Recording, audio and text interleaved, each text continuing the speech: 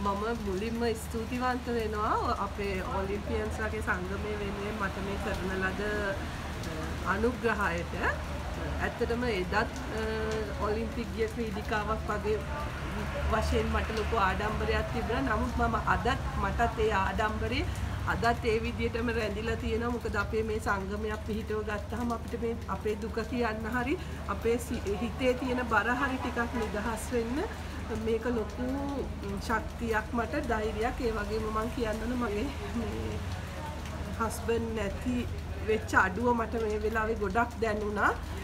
මේ කරදරේදී ඇත්තටම මේ මගේ මව තමයි මතක් කරේ. ඔයා කියන්න ඔගොල්ලන්ගේ දර්ශයට කියන්න ඒගොල්ලෝ ඔයාට මොන හරි උදව්වක් කරයි. මේ කවුරු හරි දන්න කෙනෙක් ඔයාට මාර්ගයෙන් උදව්වක් අරන් දෙයි කියලා ඒ විශ්වාසය උඩ තමයි මම කිව්වේ.